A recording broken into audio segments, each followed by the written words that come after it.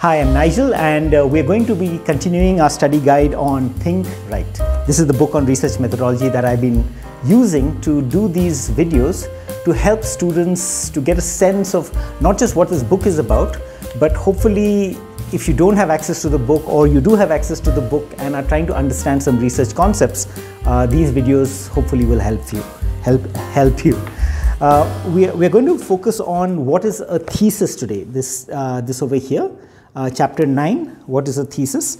But to understand what is a thesis, this book actually explains it a little bit earlier as well. In chapter 5, what is critical thinking over here? Uh, what is critical thinking? So just uh, I'll, I'll, I'll just uh, explain what is a thesis in relation to these ideas and also in relation to the previous video where I had said what is a problem. I, I know in my book I say problem, methodology and thesis, but the methodology chapter is a bit complex and I want to take time before I develop a video for that. But it's good to see the problem and the thesis together. So the problem is an issue that your paper is trying to address and your thesis is your answer or your solution to that problem. So I'll, I'll just go through that, uh, uh, just some theory about what is a thesis, and I'll also give you some example of how we can look at a thesis in an article or even in your paper. One clarification before we get started. In this book, I use the word thesis in two ways. One, the word thesis is your claim, your assertion, your point of view, and the other is with a capital T, thesis, which is a short form for dissertation. So when I say your MTH thesis, it could, if it's capital, it means your MTH dissertation. So just so that you don't get confused. So the book uses, uses this because we constantly hear it. How's your thesis doing? Have you finished your thesis? We mean the dissertation. But we, a thesis has a thesis. so an MTH thesis, an MTH dissertation much have a thesis. So that's how I've used it in this book, capital T and small t. Uh, the first place where I discuss what a thesis is, is in page 42 in what is critical thinking. That, that, that's another uh, chapter that requires its own video. But let's just assume that you know what it is or it's not so important to know everything. But uh, page 42, uh, in critical thinking, an important part of critical thinking is making your assertion say what you're trying to say. So there are three aspects of assertion. One is have a point of view, have a voice. Now I use this language of voice, which means that when we read a book, there are many voices. Even when you conduct interviews, there are many voices. There are many people that we are reading, or there are many people that we are studying, or there are many uh, books and articles that have their own perspectives. Now that we have read 15, 20, 30 articles and books, what is your point of view? So assuming this friend of mine, Jayant, is watching this video, uh, so Jayant, what is your voice? Now that you've read this material, what are you trying to say? In view of what are the opinions of others, what is your voice? So having a voice is the first part of making a point. Have a point of view, have an opinion. The second part of having a voice is stating your thesis. This is where you write it having a voice is, I, I have an opinion. But stating your voice, stating it is your thesis, where you say, this is my point of view. Yes, I have read my 15 scholars, but this is my view. This is what I, Jayant, am trying to say. You know, I'm just using Jayant as an example. But anybody, like, what am I trying to say? So that is stating your thesis clearly, your, your assertion. In this book, I basically say that a thesis is your central claim, your main point that emerges out of your research and is expressed in an academically appropriate manner. So basically, your thesis is your central claim, your, your point, the, the main thing that you are trying to say. However, uh, you can't just say it, you have to defend it. You have to argue that you are right or you are worth listening to. That is your argument, where you not just state your thesis, but you prove your thesis, where you defend your thesis, where you show that your thesis is valid. So there are these three aspects that people look at uh, in terms of critical thinking of assertions, making a point. Now with that said, I think you, you may get a sense of a thesis is an answer to a problem and it should be stated clearly and defended well. Okay, so that you can define a thesis like that. Something that you are saying in your paper that is clearly stated and defended through your paper. Now, now let's go to what is a thesis. And uh, over here in this chapter 9, And like we saw in the previous video about the problem, I, I showed that there were four kinds of problems. There was a textual problem, there was a conceptual problem, there was a contextual problem, and there was a positive problem. Now, if you don't understand that, you can go to the, uh, to the previous video. But in view of that, if there is a textual problem, there is a textual thesis. If there is a conceptual problem, there is a conceptual thesis. So that's how I framed it here. What are the various kinds of thes theses? Theses? Yeah, yeah. Uh, what is your thesis? And what, what is your particular thesis in relation to your particular problem. So I'll give you an example. So you have the correct, the textual problem, uh, which means that either somebody that you're reading has misrepresented another scholar or he or she has uh, misinterpreted uh, another scholar, uh, has not understood clearly or has not misinterpreted a particular biblical text or misinterpreted uh, some aspect in history. So your thesis would be a correction of that, would either correct the misrepresentation or correct the misinterpretation. That is why we have the first kind of thesis is the corrective thesis. If you can see over here, we are in page 73. The corrective thesis corrects misrepresentation and corrects misinterpretation. Okay, so that's just one example of what a thesis is. This is all in page 73 and 74 over here. Then, in view of the conceptual problem, which was the problem where scholars or people come with ideologies that are wrong or misguided, or they use approaches or methods that are wrong or misguided, your thesis in your paper or your thesis in your dissertation will provide an alternative ideology or will provide a better methodology. And so this kind of thesis is called a constructive thesis uh, this is in page 74 and 75, where you are trying to develop something better. It's not just correct something, so that's a corrective thesis. You're trying to develop something, a new way. That's a constructive thesis. Then we saw the third problem. A third type of problem was the uh, contextual problem, where academia is confused uh, or there are certain issues that are not being addressed. So the contextual problem leads to a contextual thesis where in view of the problems facing academia, you are providing a clarification. You are providing some kind of understanding. So if there's a confusion about definitions, your thesis is a clarification of the correct definition. So this is the contextual thesis that addresses the issues facing either academics or the issues facing society. So that's the contextual thesis. And finally, we have the positive thesis in view of the positively stated problem. in the previous video, you would have heard that the positively stated problem is where you take someone's work and you affirm it or you extend it. You, you want to test whether somebody is right and or you want to extend their work to something better. So the positively stated problem leads to the positively stated thesis where you actually say, yes, this scholar is right. My thesis proves it, that he or she is correct. In the same way, a positively stated thesis extends another work where your thesis is, yes, what this scholar said was right. However, how I have built upon that scholar's work is also appropriate, both to the scholar as well as my needs in my context. Now, I'm, I'm sorry, all this is very conceptual and, and uh, if, if we can't give you examples of actually over here, uh, it won't make sense. I have given examples in this book, but it may take too long to go through each example well. But let me go to the third part of this uh, video. The first part of the video was just get a sense of a definition of what a thesis is. The second is to show the thesis in relation to the problem. But this third one is how do you identify a thesis in an article or a book or even in your own writing?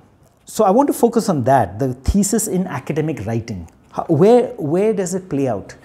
Now, I'm sorry, I'm going to go into flashback into another part of this book. I, am really sorry. Everything is connected. That's why I believe this whole book is really important. But uh, if you pick and choose, you have to be careful when it draws attention to something in the past. There will be there will be footnotes telling you read here, so you can go back and read what you need. But uh, I can't explain one concept without explaining another.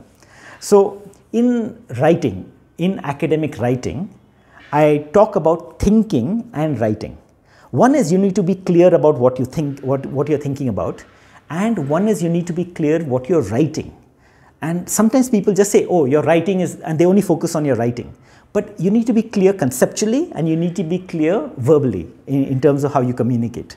So, so I have two important aspects in my academic writing chapter, which called about the conceptual structure, which means every academic writing needs to have a clear problem or question, a clear problem, a clear methodology, and a clear solution, a clear thesis. So uh, you have a problem, method, and thesis. That's the conceptual. You need to be clear about what you're doing. But in terms of writing, you also need to have a clear written structure. And this means you need to have an introduction, a body of your work, and a conclusion. So when you're communicating the problem, method, thesis, you need to function within a written structure where you have a introduction, conclusion, uh, introduction, the main body, the main text, and a conclusion. That's the structure of most academic writings. So I use those concepts and then I see them reflected here. So when I say, how do we look at a thesis in academic writing, I'm looking at both the conceptual structure as well as now the written structure. So I'm, I'm sorry if you're not able to follow, but let's, let's see whether we can do it. So let's now use the written structure, introduction, body and conclusion. So where is your thesis? Where should your thesis be? So what I say in pages 78 to 80 into in these pages is that uh, there are three aspects to where your thesis will be represented in your work. And that's very important for us to be able to recognize. The thesis is not only in the end. The thesis is, uh, there is a sense of a thesis in the beginning, introduction. There's a sense of a thesis in the middle, the body, and there's a sense of a thesis in the conclusion. So how? So the first part is the introduction anticipates the thesis, uh, where you must give a sense of what your thesis is going to be. You, you may or may not clearly say that this is my thesis. You, some people say it, some people don't say it. Of course, they won't say my thesis is, they don't use that language, but it's very clear what the author is trying to say or what the author is going to say, sometimes in the introduction. But sometimes it's implied. You can get a sense of what the author is trying to say. So the first part of where a thesis works in an academic writing is in your introduction, where your introduction anticipates your thesis. The second part where we see the thesis in your academic writing is in your body, in the body of your work. This is where you defend your thesis, where you start saying that this is defendable, this is uh, what I am trying to say. Now, uh, I'm sorry, now you're going to go into a list, and because of this, the headings over here, it may be helpful for you. But uh, here's the list. So, there are three kinds of theses, theses in an academic paper. One is open-ended. You'll see this, uh, and uh, I wish we could do this in a classroom where we could actually put assignments in front of us, articles, and then give you examples and exercises to work through. But an open-ended thesis is where the author reveals the thesis uh, till, till the end. So as you're reading the paper, you don't know what the thesis is, but you have a sense, okay, something, this is what he seems to be saying, this seems to be saying. And then by the end of it, he says, okay, so this is my thesis. I've given examples of this in a later chapter. In chapter 20, you will see how uh, of how to write a research paper. I've given you examples of how open-ended theses uh, develop. How they, uh, there are scholars who will, won't reveal their thesis in the beginning, but they will reveal bits and pieces and only in the end we'll find out what the thesis is. It doesn't mean they didn't know what the thesis was in the beginning, but it's revealed slowly. So the middle, the body of your work is that process where you reveal your thesis. You're, build, you're building some, you're building towards a main point. The second type of, type of thesis in academic writing is a soft thesis. Uh, a soft thesis means that it's a tentative thesis. So in your introduction, you'll give a sense that uh, I think this is going to be my view or I am going to be probably arguing towards this or this is towards where, where I am going. It's tentative. It's not, it's not like this is correct and you better believe it. Uh, it's not, it's not, that's, that's what we'll see as a hard thesis.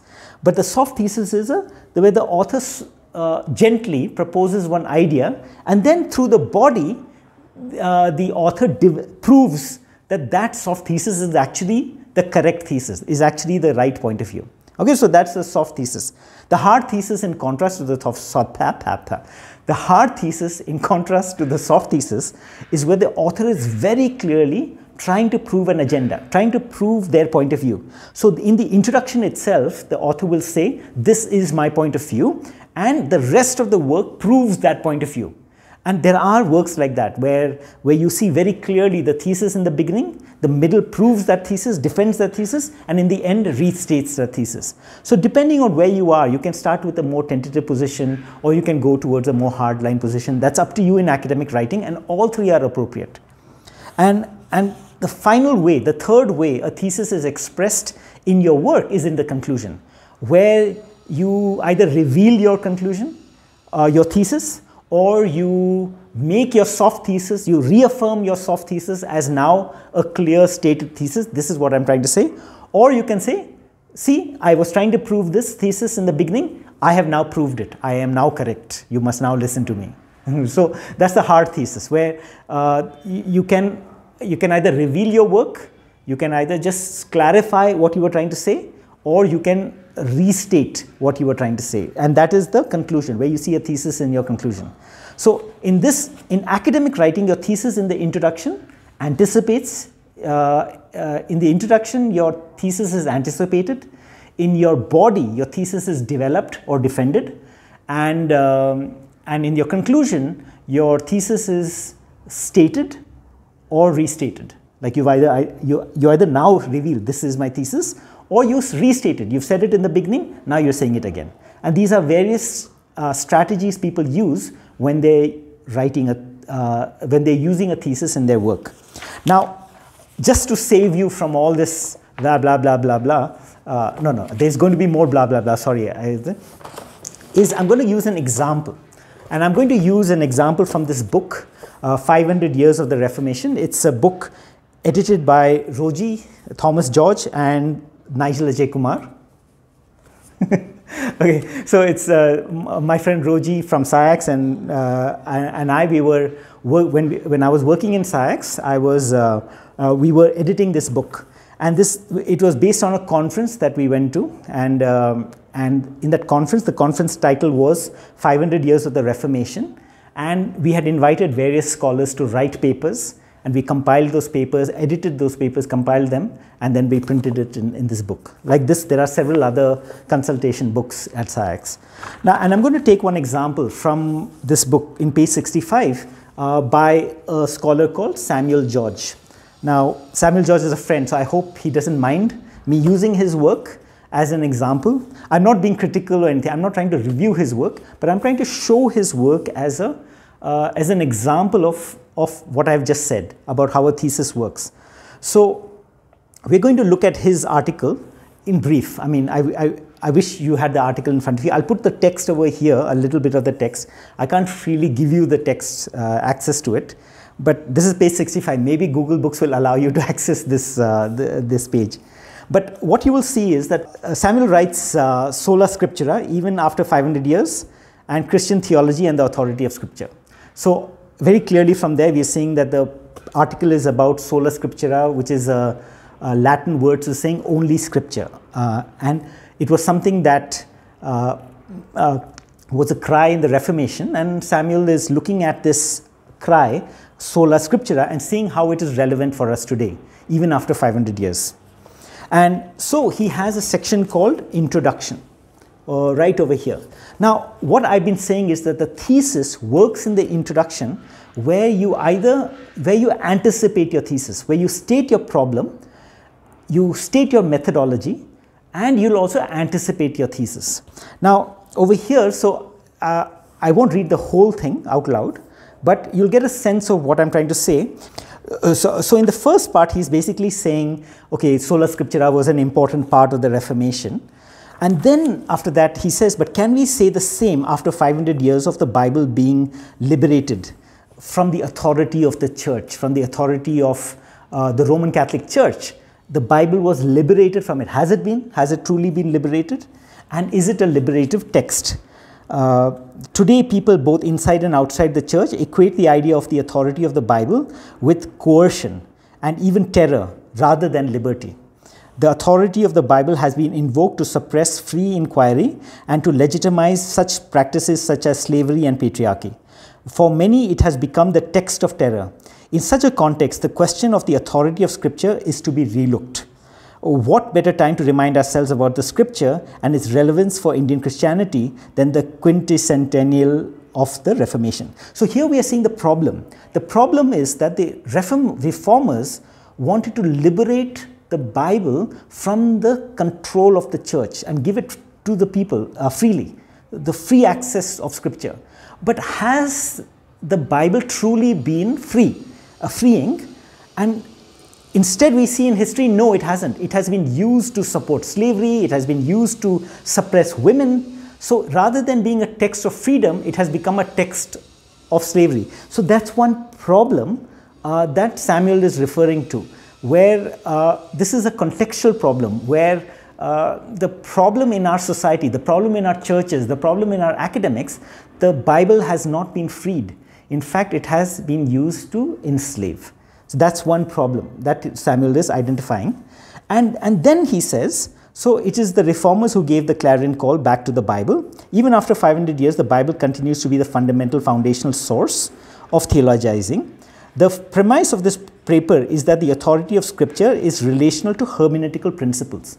Now, here is where his methodology is being uh, proposed, where he's going to say we need to do hermeneutics, we need to do uh, interpretation, a certain way of interpreting scripture to, uh, to, to understand the scripture and its freedom.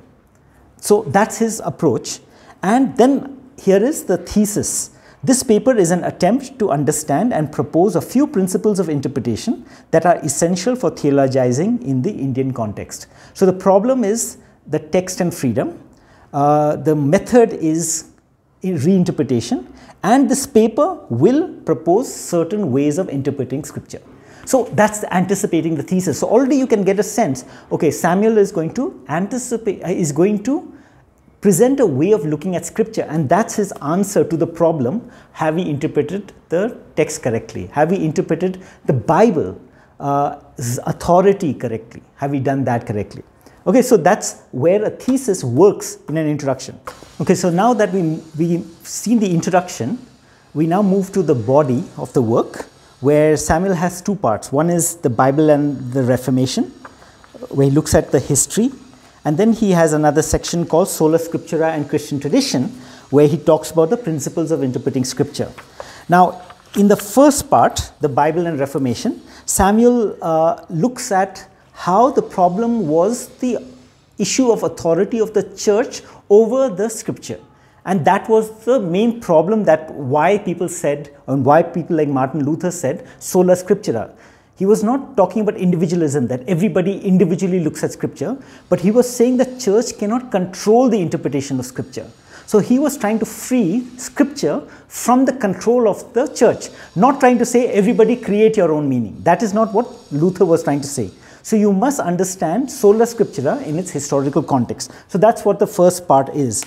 And then the second part is, so therefore, how should we interpret scripture? Now that it is sola scriptura is a contextual thing, uh, the principles of interpreting scripture are we must look at the scripture contextually, like in the sorry, historically, see in its in its own context. Then we must interpret scripture theologically, which means that we must look at scripture in view of what God is trying to say. Third, uh, scripture should be interpreted ecumenically, which means very clearly here that you should not do it individually, that you yourself are the meaning, but take the wisdom of the church, listen to other people in the church, it's not giving authority that oh because my pastor says that is why it's true it's that's not what we're talking about we're saying listen to other people work together uh, be ecumenical, which means work as a church in trying to interpret scripture. Don't just you come up with a meaning and don't test it with somebody else. We must work together and learn from other interpretations as well. Don't think you are right and everybody else is wrong. So that is the next uh, interpretation. And then finally, he offers uh, the scripture should be context, uh, so not finally, two more points. Scripture should be interpreted contextually, means the issues that are facing today, see how scripture relates to those and scripture should be interpreted liberationally, uh, where uh, in view of God's concern that God cares for the poor, God cares for the liberation of the poor, the scripture should be written with that uh, focus. And he ends that section by saying, there are few characteristic marks of liberation hermeneutics. One, it is a hermeneutics that favors application rather than explanation. And two, it raises the Bible as a book of life, not as a book of strange stories. Uh, three, it seeks to discover and activate the transforming energy of biblical texts. And four, the theological political reading of the Bible stresses the social context of the message. Now, uh, please don't get thrown off by this. I'm not trying to promote this or trying to critique it or trying to say that it's wrong or right. I'm just trying to say that here you already start seeing Samuel's point, what he's trying to say, that the scripture must be freed from the control of the church, but it does not mean that the scripture is free to be interpreted by anyone anywhere we must allow the scripture to be read through certain rules. And these are the rules that help us to understand how scripture has authority over us. So that's what he's trying to say. So the thesis is developed through his argument over here. And finally, at the end, the conclusion, uh, he, uh, what is said over here, as noted in this essay, scripture continues to be the fundamental authority in our theological thinking, but as explained, for such authority to be meaningful and relevant, it needs to be interpreted in the given context. So that's his thesis again. His first thesis anticipated, his thesis developed in the body, and his thesis stated more clearly in the conclusion. So that's how a thesis works. Now, when, uh, when you're looking at an article, uh, you can actually see the thesis of the author uh, anticipated, developed, and stated. And that's really helpful. The same thing you must ask yourself in your writing. How is your writing? Are you clear about your thesis in the beginning? Are you arguing for your thesis in the middle? And have you stated your thesis clearly at the end? So going back to this book, so we were basically going through chapter 9 and this idea comes from, from that over here. I, am sorry, I've not given more examples. I wish I could do more examples here from like books and articles. But for now, I hope that will give you a sense of what I'm trying to say in this chapter. There's more practical statements of how to write a research paper later on, uh, which apply these rules in, in your writing. So that's why the, this, this chapter 7 comes from the early part where you try to understand the thesis and then you have to practically write it in your work. So anyway, I hope you found this useful. I'm sorry this video went too long. Uh, I promise you that the text is a little bit more clearer because it has more examples. And uh, so I hope that you would find the text useful. But if not, I hope these lectures themselves provide you some kind of uh, uh guidance towards what is in here for you to see whether it's useful for you or not. Uh, okay, so with that said, uh, bye till I see you in the next video.